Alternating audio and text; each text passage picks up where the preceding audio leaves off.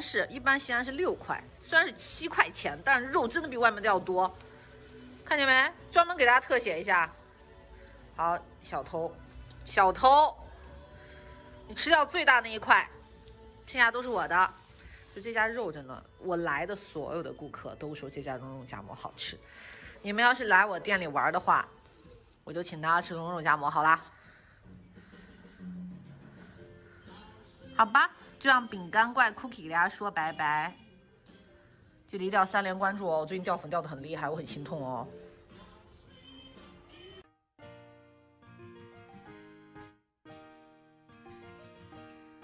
Hello，大家好，这是云吞，好久没有给大家录做手工的视频了吧？有一个月了吧？然后看面前这四个是什么？是可爱的小盲盒。那我不是一个盲盒中毒的人啊，当然我也有的时候会有一点点上头。这个就是 Molly 的新娘系列啦，反正一看就知道是顾客结婚要用到的可爱的小玩意。那其实我会用它做成手腕花，小红书上也有这个盲盒手腕花，然后非常多人点赞，然后我的顾客就找到了我，让我帮他定制。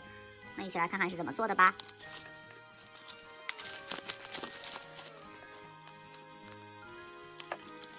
啊，真的是四个不一样的。哇，好可爱呀，对不对？是不是很可爱？那我相信大家肯定想问我，这立体的东西怎么戴在手上？而且它有重量呀，这可怎么弄呢？就是我们先看一下手腕的宽度啊，其实是可以的啊，对吧？但是它肯定需要一个承托它的东西，以及需要花在旁边围绕着。那么它已经有这么大的体积了，如果再用鲜花、玫瑰啊、桔梗啊、雏菊啊，其实都不太合适。而且这一次呢，顾客要把它带去外地，所以我们跟小红书上一样，是用永生花。好的，那我们现在先看一看我会用什么样的东西，就是这个，是不是有一点老土？但是如果是嗯花艺师应该都见过吧？这是一个手腕花的，哇，为什么这么玛丽苏？嗯，感觉特别的玛丽苏，对吧？这是个蕾蕾丝的底托，因为很多手腕花大家知道是用铁丝窝的，然后用丝带绑的，那那一种呢丝带它是软的嘛，然后这个又比较重，就可能会有一点点不成比例，所以说我们可能会用到它。看见没？哇，为什么会这么可爱，对吧？你当然也需要，你看它的后面都是立体的，你当然也，我觉得还是需要去把它固定在一个地方，那可能就会用到胶枪。关键是这个做上去以后，它可以成为一个纪念品，但是你再把它搞下来，背后可能就会有胶哦，而且。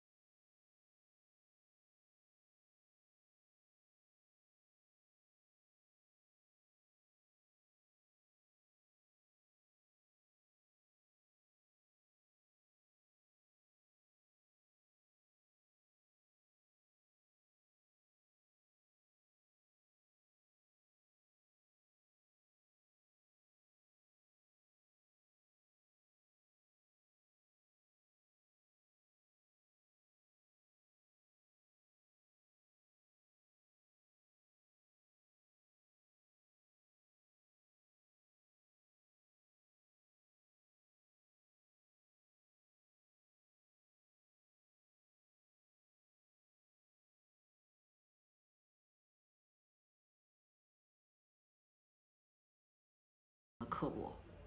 我这两天已经在家里接收这样的负面信息太多了，我真的觉得我是不是没有朋友？也许成年以后的朋友就是这样的吧。我我可以把这些东西都当做一种就是冷嘲热讽，就他们会说啊，云吞疯了，在一个这样的老厂区里开了一家小店，然后投了多少钱，真的是疯了，就一直说这些。啊，我真的是受的够够的了，然后我真的觉得我都不知道该去哪里吐槽。我觉得真的没有必要这样。那其实我我现在就是已经三十岁了，我是有一点点在意别人对我的看法了。就是如果嗯，就是我的观众们会觉得你为什么要在乎别人？那些都是傻逼，我不会这样想的。就是我会在意别人的看法，这是肯定的。那你对我有好的建议，我一定会接收。如果对我有一些负面的评价，我也会去学习和进步着。但是我不知道为什么，就其实之前我不管干什么事情，可能是酒馆也好，花店也好，我觉得身边的人还是以百分之九十的鼓励吧。唯独这一次，也有可能跟疫情有关，大家觉得今年的经济形势不好，你没有必要去投资，没有必要去投入，甚至朋友看你往火坑里面跳，反正什么之类的吧。但是我真的觉得，目前的我还是很需要鼓励。这是一家小店，没有那么大的资金投资能把我给投死，对吧？然后我也去相信自己的能力。死了我也能够复苏，所以这条视频我也有很多朋友，他们对我关注我的 B 站，我想录下来告诉大家，不必用特别特别自己觉得很友善的方式去劝我，然后去，哎，我知道大家不是打击我，但是我不知道是不是打击我。我现在真说句真心话，我不知道你是不是在打击我，是有意的打击我呢，还是怎么样？呃，我永远希望我身边的朋友好，就是只要他们创业了，做出这样的选择，我永远希望他们能够成功。就是我不希望他们受任何的风险。但是我觉得我做这件这这一次做这件事情，真的受了太多身边人的这种，我真的很受不了。我真的怀疑自己是不是没有朋友，我也怀疑自己的朋友到底都是些什么朋友？为什么一定要这样？刚刚那些其实都还好。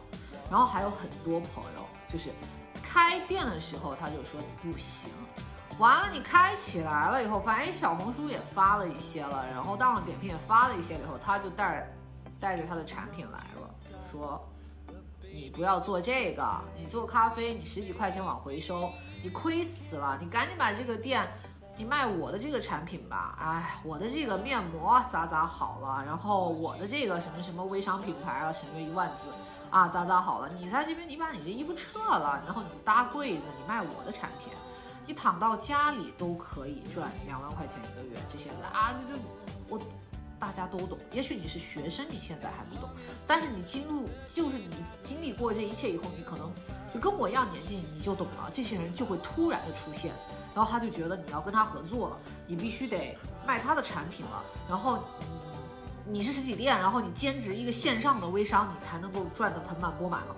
就哇，我感觉我脑袋都要爆炸了。包括那个隔壁的邻居什么之类的，都把东西拿过来说，能不能把这个产品放到你店里卖？啊！但是我我我开业的时候，我跟他们聊这个概念的时候，所有的朋友都说你不行，这地方不行，然后顾客质量不行，什么都不行。但是你开起来了，你现在还没有盈利，他们就把他们的东西全部端来了啊，让你卖微商的品牌啊，让你在这个地方。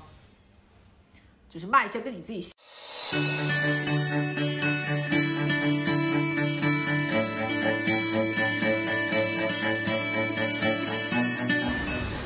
Hello，大家好，这是云吞。然后今天呢，出来吃一个好吃的，也是朋友给我推荐的。今天，所以我就把我的咖啡馆提前打烊了半个小时，然后来到了这个是西安的体育馆东路，然后一家嗯什么店呢？给大家看一下。当当当当，就是这一家龙吉屋徒手烧，然后它是一个徒手烧的专门店。那我们进来看一下吧。谢谢。呃，店其实不是很大，但是做的很满哦。然后我也准备就坐了。呃，酒杯你还有需要吗？我们刚刚已经准备点科尔必斯和你们的呃生生啤了。好的，嗨棒的话，它是鸡呃，它是威士忌酒加苏打水。好的，好的。好的干姜嗨棒的话，就是把苏打水提灌成为干姜汽水。然后我们这边选用的干姜汽水的话，会偏甜一点，口感还不错。哦。然后我们这边主要做左手烧，它是一个大阪的味增料理，主要对大阪风味的哦。主要以牛筋串为主。OK。然后像红烧肉到我们公司的话，我们会用高汤给它入一个味道，然后再用味味增去调味。好的。像这部分的话，它会比较像那个关东煮。关东煮基于关东煮之上的一个东西。右边的话是炸的东西，我们就先把它炸炸过一遍之后，再用味增来调味。哦。然后除了白葱跟洋葱以外，我们上面就会撒撒小葱。好的。所以如果不吃小葱的话，跟我们说一下。好的。呃，我们的这个炸鸡外面有包一层紫苏叶，然后大家评价还蛮好的。好的。另外春卷跟煎饺的话是我们自己包的。好的。春卷是大虾加小虾，然后煎饺的话是白菜猪肉馅。好的。柚子胡麻柚子胡麻豆腐的话是我们这边自创的一个呃柚子口味。好的好的。好，锅物介绍一下。三款火锅盐鸡锅相扑锅寿喜烧，这个就是盐鸡锅，就是跟它的名字是一样的。嗯。相扑锅的话是味增猪五花的。嗯。寿喜烧的话就是酱油牛肉。好的，好了，就是主要是这些，对不对？对。那我可以问一下，你们是呃从日本大阪回来以后想做这个，还是？是的，是的。是从的啊。对，我在京都生活了两年，然后我们厨师的话在日本是待了有十五年的。好的，你是老板吗？是的。好的，好的，谢谢老板。呃，给他的，我觉得他的这个装修设计很紧凑，也很温暖，虽然不是很大。然后这里有陈列一些可爱的，可能是因为刚刚也有听说嘛，老板有在日本待好几年，然后厨师有待十五年，呃，有一些，这个是一个如果没记错，对，是个生酒，去年的时候我有喝过这一款，然后他也有摆一些酒，我觉得应该是店里有卖吧，但是我今天不喝酒。然后这块儿有一些做嗨爆的酒瓶，然后这款我也是喝过的。英军很好喝哦，我之前有专门发过，就是品品鉴会，然后有喝到几款英军，不知道大家还记得吗？OK，那我们一会儿来试一试味道怎么样吧。因为像这样子的小店呢，其实全国各地都有很多，但是主要还是看风味。怎么样？这个酒怎么样？札幌生啤，来自北海道。看起来是很清爽的啤酒。菜菜还没有上就已经喝了这么多，兴奋的搓手手。应该没有很高的度数吧？对我来说像喝水，对你来说像喝水一样，好的，很解腻的那种，很清爽，对，因为吃主物可能就比较适合喝清爽一些的啤酒，对不对啊，这位美女？我马上就要晕了，她马上就要晕了，好的，就三三度的量居然还喝，注意一下我的包装手法，我一直有给学生强调，包装花束这件事情是百无禁忌的，没有什么花束需要用同样的方法包装。首先，你的花扎的也不一样，你的花束不一样，你的包装纸也不一样，你的尺寸也不一样，你的质感也不一样。我们不需要都用一样的方法啊。OK，感受一下，对不对？那这样就是两张了。这个时候我们还需要再裁两张。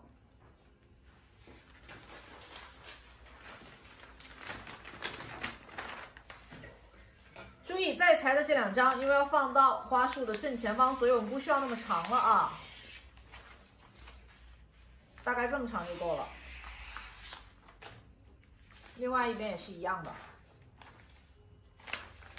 哦，有，我是非常非常不喜欢裁纸这个过程的，所以我有的时候真的，比如说第二天要包好多个这个的时候，我第一天晚上我先把纸裁好，我觉得裁纸是一个非常痛苦的过程。OK，刚刚这两个啊，继续，我们把它握紧。那这里解答大家一个问题，因为我也不爱每包一层纸就固定一下啊，但前提还是你这些东西能够稳定的固定住。然后这个纸啊，折一下，这个是要放到前面的。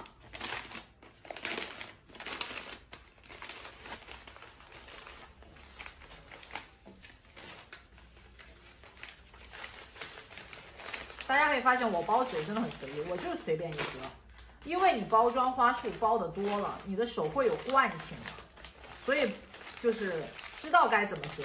那在很多初学者那里，包装花束简直不要太难，他们不知道该怎么样去折纸啊这些东西。我觉得还是因为包的不够多，所以说觉得自己花束包的不好的朋友，就是玩命的包，疯狂的练习，最终会找到手和纸之间的那种感觉。OK，有没有看见这样的感觉，对吧？然后，但是在下面很丑陋，对不对？那这个时候我们可能需要再一张纸把它整个的包裹住。好的，这个苹果就跟吸血鬼一样躺在这儿。OK，下一步，下一步我们刚刚我说这块很丑，对不对？那我们会再来一张纸，整它会更长一些，整体的在后方把它合上。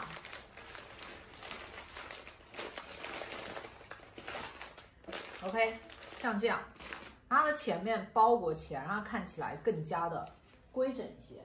那刚刚也有说到啊，就是很多，包括我自己的学生上我的线上花艺课，大家都知道，大家可能不知道，就是我今年有开大概大半年的线上花艺课的群，我有时候会给顾客录，呃，不是顾客，就给学员录一些视频。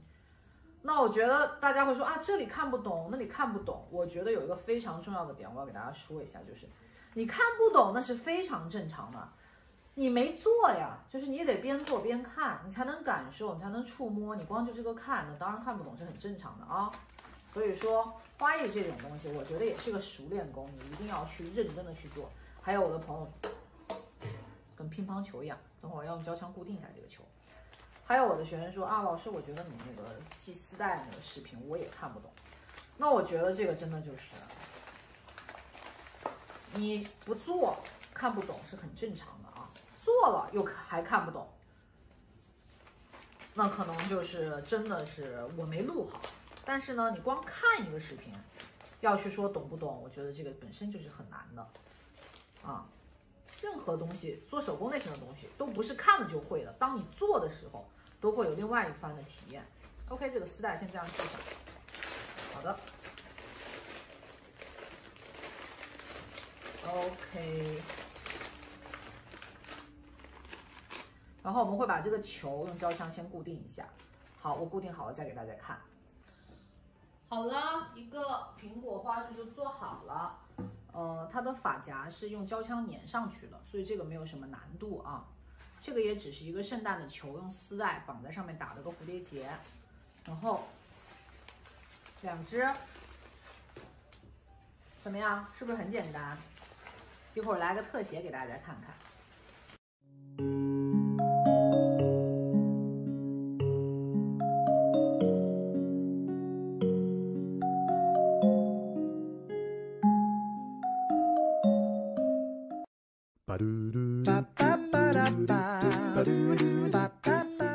Hello，大家好，这里是云吞，然后我现在在吃朋友送来的一个非常好吃的擀面皮。这个是我今天自己用苹果橙子肉桂那些做的热红酒，然后一会儿就要给大家再次用苹果整个活，成品就在这放着。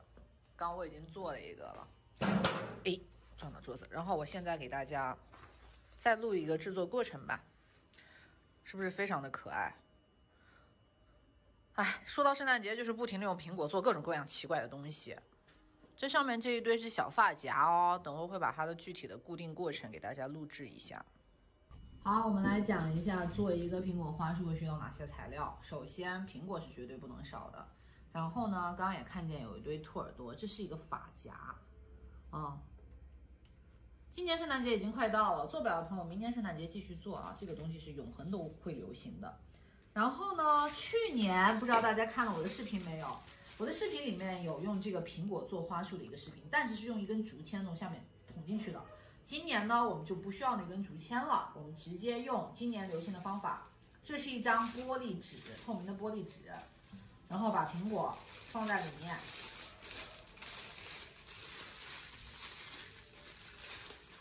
像这样，我们会用这一张玻璃纸去取代竹签的作用，就是固定它。首先，玻璃纸有延长部分的位置，大家注意，整个过程中一定要注意捏紧这个玻璃纸啊。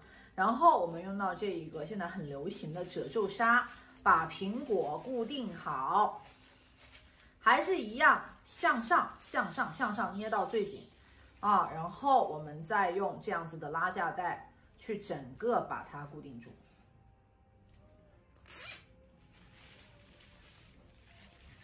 一样啊，拉高拉架带固定的位置应该是最靠近苹果根部的。嗯，这已经第三根了，到底有没有一根好的？我感觉拉架带这个东西买上几个月你不用它会失效哎，这个应该是好的。OK，把它固定住，拉紧。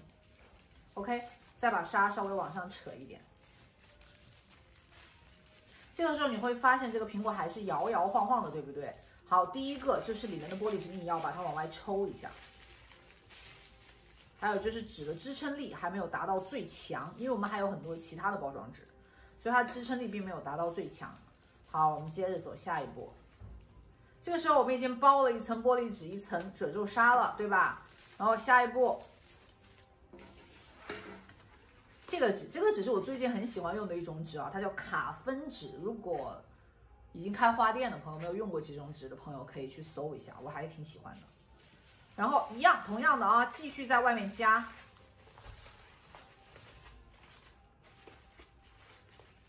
就像包小花束一样，继续在外面加。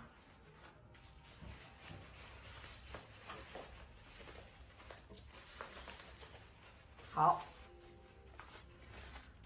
当你外层加的纸越来越多，同时你时不时的要注意拉一下里面的玻璃纸，你的你的苹果就不会再乱晃了啊。然后这一步也是一样的，我们需要一个拉架带去把它固定住。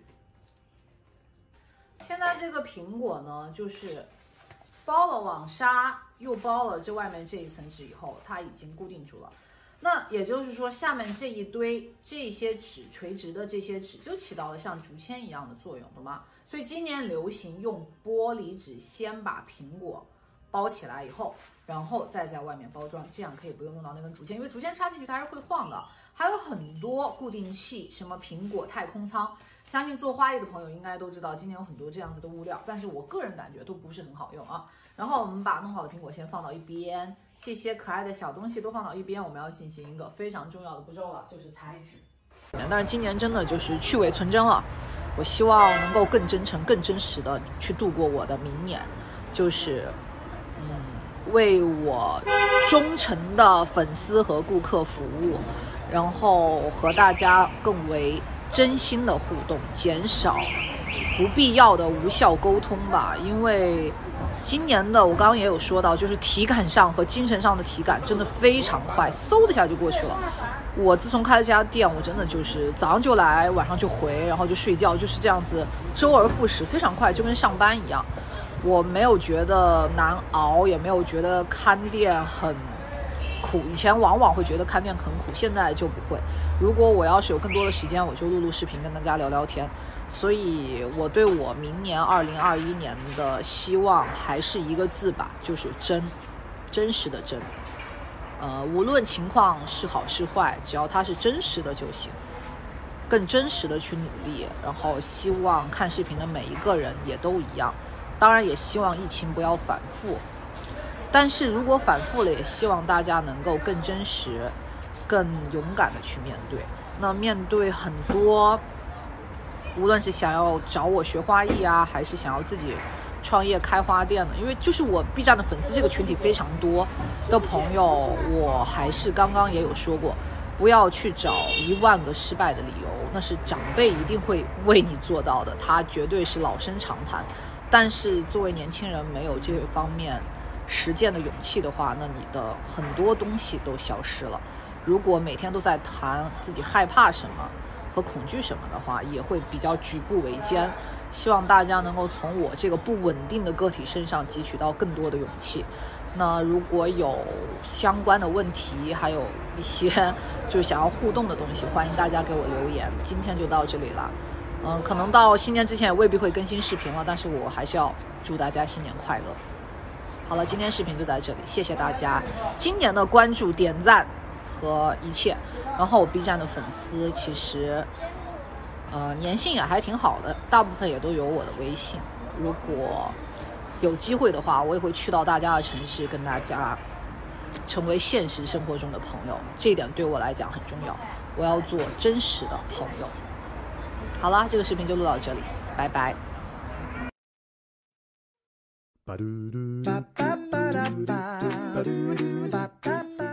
Hello，大家好，这里是云吞。然后我现在在吃朋友送来的一个非常好吃的擀面皮，这个是我今天自己用苹果橙子、肉桂那些做的热红酒。然后一会儿就要给大家再次用苹果整个活，成品就在这放着。刚我已经做了一个了，哎，撞到桌子。然后我现在给大家再录一个制作过程吧，是不是非常的可爱？哎，说到圣诞节，就是不停的用苹果做各种各样奇怪的东西。这上面这一堆是小发夹哦，等会会把它的具体的固定过程给大家录制一下。好，我们来讲一下做一个苹果花束需要哪些材料。首先，苹果是绝对不能少的。然后呢，刚刚也看见有一堆兔耳朵，这是一个发夹啊。今年圣诞节已经快到了，做不了的朋友，明年圣诞节继续做啊。这个东西是永恒都会流行的。然后呢，去年不知道大家看了我的视频没有？我的视频里面有用这个苹果做花束的一个视频，但是是用一根竹签从下面捅进去的。今年呢，我们就不需要那根竹签了，我们直接用今年流行的方法。这是一张玻璃纸，透明的玻璃纸。然后把苹果放在里面，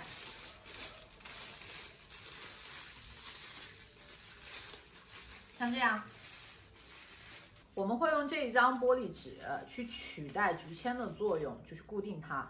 首先，玻璃纸有延长部分的位置，大家注意，整个过程中一定要注意捏紧这个玻璃纸啊。然后我们用到这一个现在很流行的褶皱纱，把苹果固定好。还是一样，向上、向上、向上捏到最紧，啊，然后我们再用这样子的拉架带去整个把它固定住。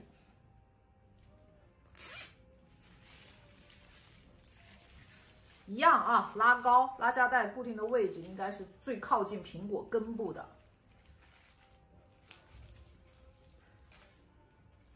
嗯，这已经第三根了，到底有没有一根好的？我感觉拉架带这个东西买上几个月你不用，所以虽然是后疫情时代，但是嗯还是值得尝试的啊。另外一个我觉得就是，嗯，我这个人啊不是太会考虑就是非常多的因素，因为你要仔细想一仔细想一想，开始一件事情，你要硬去找借口，也不能说借口吧，就是硬去找失败的理由，至少能找出来一千个，对吧？那。就好像你找你自己会突然死亡的原因一样，都是一样的。所以我会先看好的地方，我找合伙人也是一样，先看好的地方，先看共同付出的地方，就是不看那些矛盾点。那随着年龄的进，就是年龄的进步，年纪越来越大，我现在已经真的不是太会在意，就是很细节的东西了。就是大体上我们看共同的付出，然后看共同的进步就行。开店也是一样的。呃，最后就聊一聊二零二零年我心态上的转变吧。我觉得我今年因为经济原因，然后钱也都投到这个小店里头了，就是我的消费是有在降级的，然后也不能说是一件坏事情。那以往买买一些大牌的包包什么之类的那个就越来越少了，在降低。但是我也变得更不爱比较了。那其实我的个性一直都不是特别爱攀比，然后我现在就更不爱攀比了。嗯，今年的整体的心态就是珍惜眼前人，然后更真诚的去面对身边人吧。呃，就是虚假的玩闹那种场面上的朋友，每个人都是不可或缺的，会有一些社交也很重要。但是我我觉得我今年心态变化其实挺大的，可能也是因为到了三十岁的原因吧。我觉得就是真实的苦，真实的开心，真实的喜怒哀乐。对于我来讲比较重要，那我也会更真实的去面对自己的情况，去做出努力，更加脚踏实地。其实了解我的粉丝应该都知道，我这个人还是挺务实的。我本身就是金牛座嘛，然后我给朋友提的建议也是非常一针见血的。但是难免自己面对自己的时候是会有一些假想啊，然后有一些筑梦啊，然后有一些虚假繁荣的一些东西在里面。但是今年真的就是去伪存真了。我希望能够更真诚、更真实的去度过我的明年，就是，嗯，为我忠诚的粉丝和顾客服务，然后和大家更为真心的互动，减少不必要的无效沟通吧。因为今年的我刚刚也有说到，就是体感上和精神上的体感真的非常快，嗖的一下就过去了。我自从开了这家店，我真的就是早上就来，晚上就回，然后就睡觉，就是这样子，周而复始，非常快，就跟上班一样。我没有觉得难熬，也没有觉得看店很苦。以前往往会觉得看店很苦，现在就不会。如果我要是有更多的时间，我就录录视频跟大家聊聊天。所以我对我明年二零二一年的希望还是一个字吧，就是真，真实的真。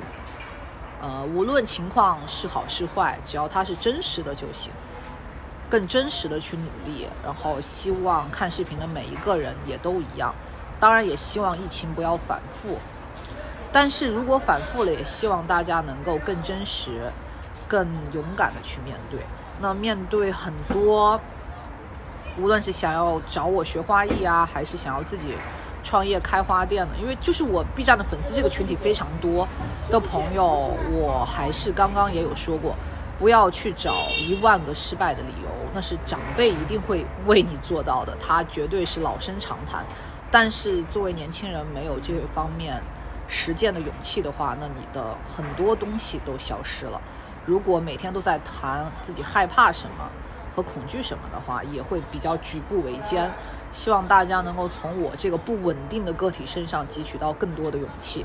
那如果有相关的问题，还有一些就想要互动的东西，欢迎大家给我留言。今天就到这里了，嗯，可能到新年之前也未必会更新视频了，但是我还是要祝大家新年快乐。好了，今天视频就在这里，谢谢大家今年的关注、点赞和一切。然后我 B 站的粉丝其实。呃，粘性也还挺好的，大部分也都有我的微信。如果有机会的话，我也会去到大家的城市，跟大家成为现实生活中的朋友。这一点对我来讲很重要。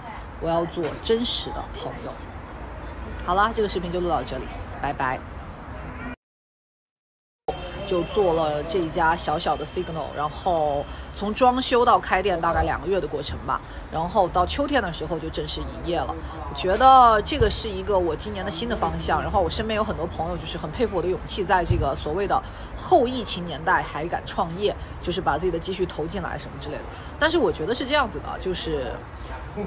实体店这件事情啊，它是有必要的，就是我自己的感觉，因为我现在很少在网上买衣服了，然后我也更倾向于有时间的时候，然后去光顾朋友的咖啡馆，然后做一个比较，因为现在的咖啡馆是一个比较社群型的店铺，就是呃好友啊，三五好友经常聚会的这种。离我家也很近，但是地理位置不能算是特别好。不过这种店呢，就是要养一养，觉得还是有机会的。那我这个人不是一个特别听劝的人，而且做事情真的非常非常的着急。所以说，从看好到开店，真的就是半个月的时间就决决定吧，一周就决定开业了。然后和我的合伙人。所以就是算是今年也有一个新的方向，明年也会有一个努力的方向。那朋友还有我的学生都会问到我说：“云彤老师，你怕不怕？万一亏本，万一疫情反复，有很多这样子的情况。”我觉得不要做假设。刚刚也说到了，我觉得实体经济永远都是有意义的，它不会被就是线上完全冲垮。而且像这种线上的。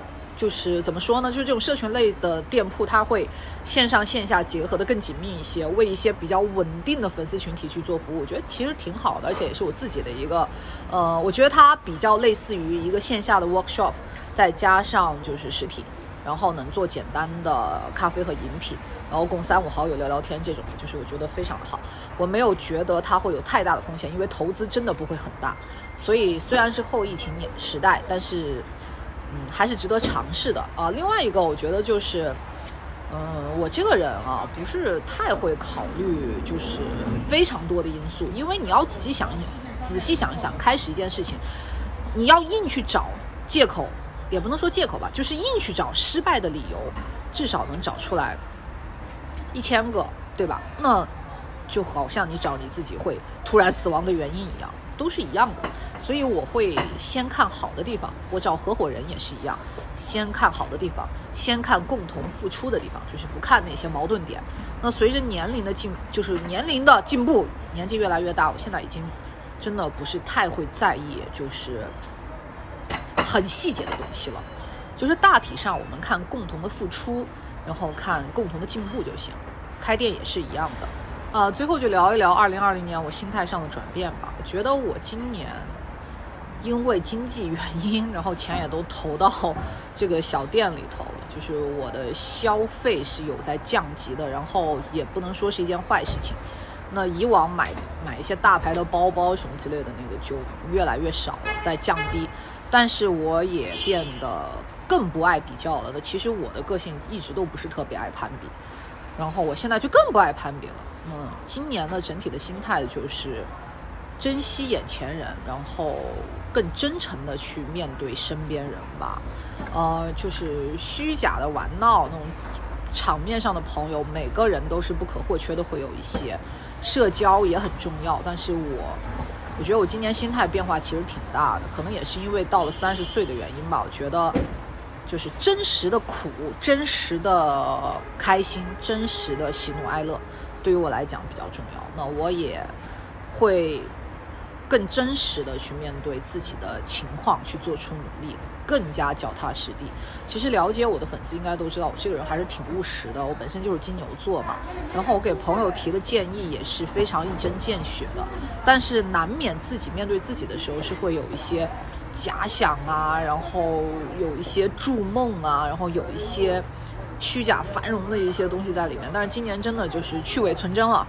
我希望能够更真诚、更真实的去度过我的明年，就是，嗯，为我忠诚的粉丝和顾客服务，然后和大家更为真心的互动，减少不必要的无效沟通吧。因为开店成功吧，这么跟你说，因为我说了，自学没有标准，你的标准来源于你自己，你还是需要一个在行业里有很多年经验的人去告诉你，呃，怎么样是合适的。怎么样对你是合适的？其实不分好坏，所以完全就很多很多 B 站的小伙伴向我发问，就是我自学能不能开店？那这个问题我给的答案绝对是 no。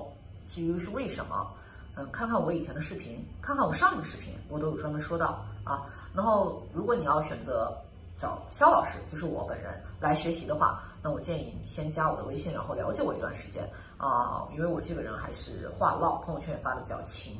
了解我以后再说，我给大家一些建议。就是经常录一些视频，我如果有时间的话，会经常录一些视频。当然，如果杠精特别多的话，也会消磨我的意志，因为这完全是用爱发电啊，用爱在发电，懂吗？所以希望大家能够就是保持对行业的好奇心，然后提升自己的认知，保持热爱。但是我昨天也有说，就是在我的朋友圈有 po 一条，就是热爱这件事情不适合娇弱者，热爱这件事情适合战士。我今天从早做画做到晚上，一秒钟都没有停歇过，只吃了一口饭。热爱适合战士啊，花艺也是服务行业。那视频就到这里，希望大家一键三连。嗯，拜拜。Last Christmas I gave you my heart, but the very next day you gave it away. This year. To save me from tears. I'll give it to someone special. Hello 大家好这里是云吞。然后今天已经是十二月二十六号了。大家有没有觉得二零二零年过得非常快？然后圣诞节也没有什么圣诞气息就这么平稳的度过了。然后离二零二一年只有不到几天了。所以呢我也录一个视频做做我的年终总结吧。今年因为疫情的情况，上半年我的工作基本上是停滞状态的，但是我也因祸得福，就是建了几个群，做线上花艺的教学，然后认识了很多全国各地的朋友，嗯，主要的来源呢都是 B 站，然后我有放我的二维码嘛，所以说很多人加我。然后我觉得交友真的是一个非常快乐的过程，因为。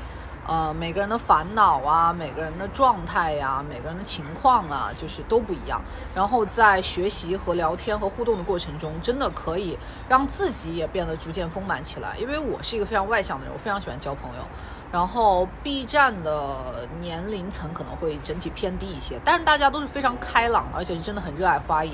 所以我觉得今年上半年我最大的收获就是建了几个花艺学习的线上群，真的是认识了很多朋友。但是呢，下半年因为开了新店，所以我现在没有时间再在线上授课了。明年过年之后，也许我会继续授课。呃，有很多人会私信我说为什么不开了，为什么不继续上课了？呃，因为下半年真的比较忙一些，所以说也许明年会有，所以大家持续关注着。这个是我今年上半年最大的收获。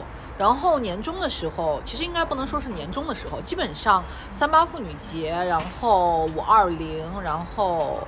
情人节是完全没有赶上的，然后往后走的几个节日啊，包括教师节、七夕，七夕一般就是嗯这几个节日呢，花艺在逐渐的复苏，其实还是有比较向好的一个情况，但是呢，它也有一定的变化，就是顾客的订单从嗯就价位在降低，就是它有它的整体预算在降低，所以利润是在降低的。呃，除非你能够把你的客单的数量提升起来，嗯，可能还能好做一些。所以整体来讲，今年的花艺的情况就是非常一般，没有特别大的突破，也没有往年那么的热热络，就是很普通，很普通。然后下半年，其实从夏天开始呢，我就有跟我的朋友一起在家附近看店，因为我想做一家小可费，然后可能会加上服装、花艺这些。然后因为。入冬以后，花艺也不能算是旺季嘛。那明年春天的时候，可以把花艺课程还有很多东西带起来。所以说，先找好店铺，做好准备，然后就有了一个新的创业方向。然后我就，呃，把我的精力从家居店抽出来了以后，三四五六七八线啊，然后县城啊，然后乡村的一些想要开花店的学生放到一起上课。还是一个认知的问题，包括这个客户群体也是有差异的，这个是一个很现实的问题，对不对？你在北京开花店，和你在呃某一个城市的三四线的县城和村里去做这个事情，肯定是有很大的区别。那你的客户群不一样，的产品线不一不一样，你面对顾客的话术不一样，然后你的报价也不一样，然后各种各种其实都是不一样的。那这种其实是我个人感觉是一对一私教的一个优势啊，当然。这个话题其实对于我来讲是比较敏感，我觉得我也不想说太多，但是就是我的一个看法吧。好，那其实刚刚说到的那个问题就是一个差异性的问题，因为点对点的一对一的私教可以跟你更好的去聊这个话题。我有很多时间都是在跟学生的聊天中度过的，我要了解一下你的想法，然后你的城市，如果就是我也可以去到你那个城市啊，就是。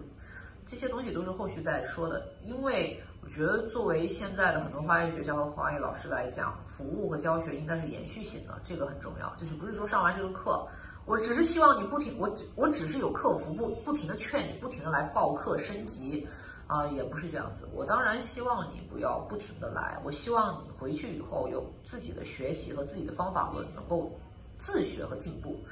呃，我在线上辅助你也好，还是去到你的城市帮助你也罢，就是我希望这个事情不用这样不停的来来回回。当然，这个也是一个比较敏感的话题，就是个人看法，对吧？啊，我再说一遍，我的 B 站频道，我的视频，我想说什么说什么，我表达我自己啊，尊重我的表达，然后你是怎么想的，我也尊重你的想法，不用杠来杠去的啊。我我其实我其实今年视频更新的很少，最重要的原因就是我讨厌杠精。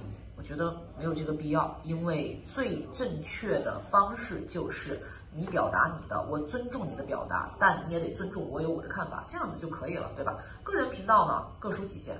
OK，继续说，呃，那我觉得其实，呃，就是很多学生、很多朋友啊，会问我啊，哪个花艺学校好，哪个花艺学校差，就希望我能给他们指一条明确的路和一个明确的选择。我觉得你还是要了解一下你自己吧，对吧？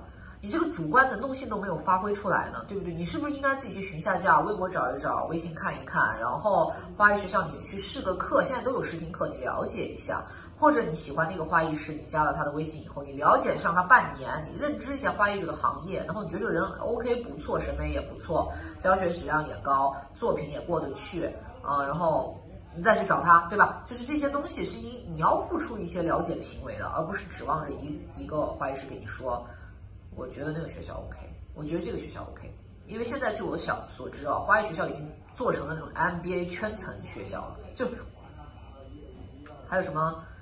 呃，就是如，就是老板班啊、总裁班之类的这些东西，呃，可能教你管理，对吧？那你啥都不会也无所谓，对吧？你可以当老板去招花艺师啊，对吧？有很多种模式，所以你了解自己，要了解这种各种各样的模式，其实才能让你更好的去干这个行业吧。我觉得很多年纪比较轻的学生，最重要的是不了解自己，只知道自己喜欢这个行业。